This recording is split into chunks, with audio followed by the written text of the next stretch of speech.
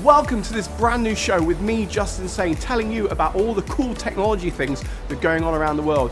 Really exciting show for you this time around. We've got concept cars, we've got solar roads, we've got scooters. It's going to be really exciting. Stick around, I'll take you through everything coming out very soon. Toyota have just announced at CES 2017 a brand new concept car called the Concept i, which is their vision of driving in 2030. It's completely autonomous, obviously. There's a personal assistant built inside called Yui, which if you think a bit like Amazon Alexa or Google Home, it's got an ability to gauge your emotions, your habits, learn things about you. The whole car is designed around this concept called kinetic warmth, where they believe the car should be more like a friend. Its headlights and its backlights blink and there's an LED screen at the back which warns other drivers about whatever your actions are or if there's an emergency.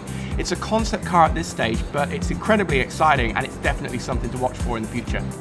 The world's first solar road has opened up in France. It's a one kilometre stretch that has solar panels which produce enough electricity to light all of the village's lights.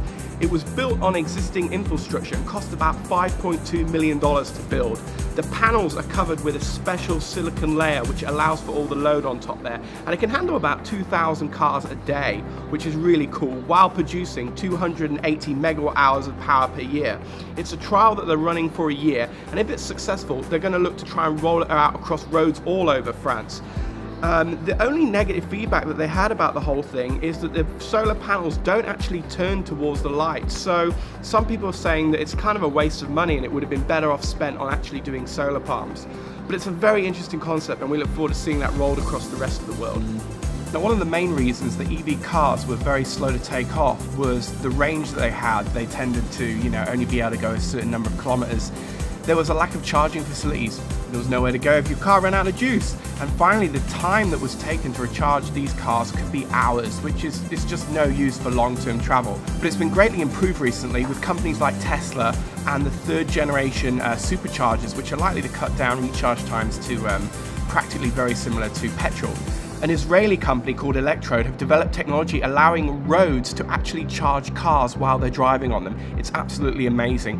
Better yet, the coils can be inserted into existing infrastructure, completely safe for pedestrians, and they're quick to install. Basically, you can do about one kilometer of road each day. It works by using electromagnetic induction, which is the same technology used for powering wireless mobile phones, electronic toothbrushes, and that sort of thing. They're testing it at the moment with public transport like buses in Tel Aviv. And if successful, they're looking to roll it out all over the country, which is awesome. And if you think about it, if they doubled it up with the solar powered roads, they could use solar to power cars driving on them, which would be awesome.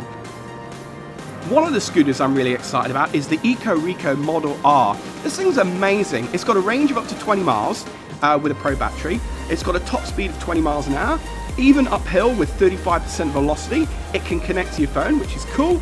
Its uh, batteries can be swapped out very easily, so if you want to go to the Pro battery, which gives you more range, then that's nice and easy. It's got two riding modes, throttle and kick assist. There are lights on the front, the rear and underneath.